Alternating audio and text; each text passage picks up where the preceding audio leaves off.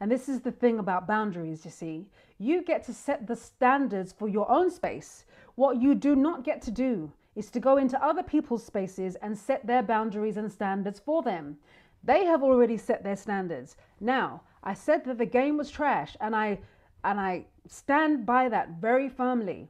But you don't get to tell people how to behave. You get to opt into the game or you get to opt out.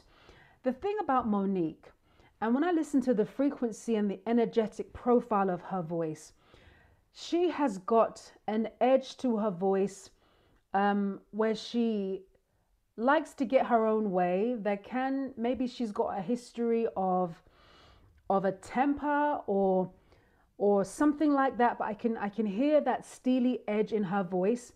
I can also hear when her voice gets calm and she drops the pitch in her voice where she can become very she's very even tempered. She's she becomes very um calculated, but not in a negative way necessarily, about what she wants to say and how she wants things to be done.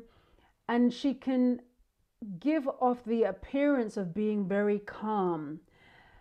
And unfortunately, when she's not in balance, she can become demanding in a way that tries to shame people in order to get the things that she wants and the treatment that she wants. Remember I said to you before in another vid in the beginning of this video, I said that Mo'Nique in this instance wants preferential treatment.